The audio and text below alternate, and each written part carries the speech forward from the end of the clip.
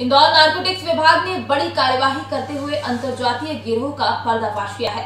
विभाग ने गिरोह के चार सदस्यों को गिरफ़्तार कर 80 किलो गांजा जब्त किया है। वहीं अभी इनसे पूछताछ जारी है। गिरोह के तार अन्य राज्यों से जुड़े होने की उम्मीदें भी बताई जा रही हैं। इंदौर नारकोटिक्स विभाग ने आला अधिकारियों के निर्देश पर इंदौर के आसपास के इलाकों में ड्रग माफियाओं पर शिकंजा कसना शुरू कर दिया है। इसी कड़ी में विभाग को सूचना मिली थी कि एक अंतर्जातीय गिरोह बड़ी मात्रा में गांजा लेकर इंदौर में सप्लाई करने वाला है। इस पर विभाग ने जगह जगह चेकिंग प्वाइंट लगाए। सब्ज़ी से भरी गाड़ी की बारीकी से जाँच करने पर चौंकाने वाला खुलासा हुआ। आरोपी लौकी के बीच में गांजा रखकर सप्लाई करने आए थे।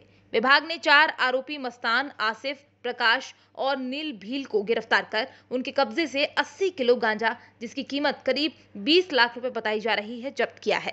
पूछताछ में आरोपियों ने बताया कि कई सालों से ये गांजे की सप्लाई अन्य राज्यों में करते आ रहे हैं और सब्जियों के बीच गांजा रखकर लाते थे। नारकोटिक्स विंग द्वारा लगातार, जो ड्रग्स माफिया के खिलाफ कार्रवाई जारी है और इसमें पुलिस मुख्यालय द्वारा भी पूरे प्रदेश को निर्देशित किया गया था कि ड्रग माफिया जहाँ जहाँ भी है, उनके खिलाफ सख्त से सख्त कार्रवाई की जाए। तो विंग द्वारा भी इसी तारतम्य में डीजीपी साहब के निर्देश पर और हमारे ADG narcotics S W Naqvi साहब और आईजी जी पांडे साहब के निर्देशन में ये कार्रवाई की गई है, जिसमें एक अंतर्राज्यीय ग्रोह को पकड़ने में हमें सफलता मिली है। जो सब्ज़ी की सब्जियों में छुपा करके गांजे की तस्करी करते थे और इनके कई राज्यों से संबंध हैं और अभी इनके पास हम 80 किलो गांजा मिला है, जो कि बिल्कुल प्रॉपरली पैक्ड करके इसको ले जाते हैं और उच्च क्वालिटी का जो गांजा इसकी डिमांड मार्केट में तेज़ी से बढ़ रही है। उसी का फ़ायदा उठाते हुए इनके द्वारा ये तस्करी की जा रही है।